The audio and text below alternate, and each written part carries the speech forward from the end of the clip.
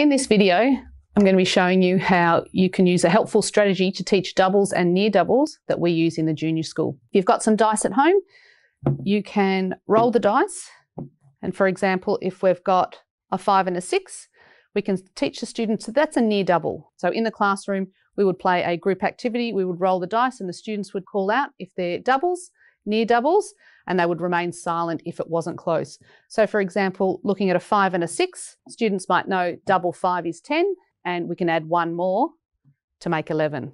Students may also know that double six is 12, and they take away one to ensure that we've got the 11.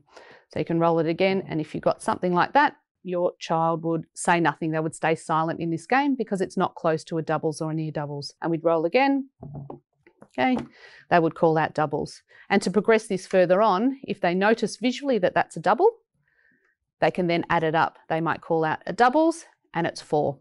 So this strategy really helps with building conceptual understanding of numbers that are close together.